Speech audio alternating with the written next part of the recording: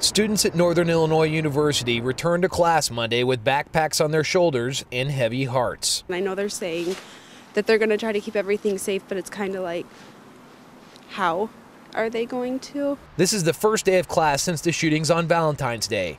Heather Lombardo and many other students are walking by Cole Hall. It's the building where five students were shot to death and many more were wounded. Jeff Brown decided to go out of his way to visit the crime scene before his first class. I thought that maybe if I walked by it again and took a look at it, um, it would kind of help with the healing process, help move on, and um, you know just get back to class and get back to kind of like a normal routine. Candles still burn in memory of those who died. As the campus comes to life again, the makeshift memorial is melting away with the snow. Forward, together forward, is the message NIU is using to not let this event paralyze the campus. More than 500 counselors are on hand to help out with that process. I think I'm really going to um, appreciate them having all the counselors just with other people asking questions and having all the counselors here.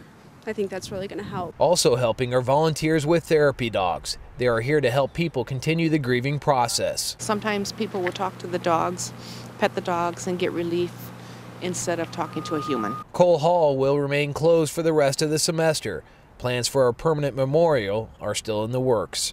Mark Carlson, The Associated Press, DeKalb, Illinois.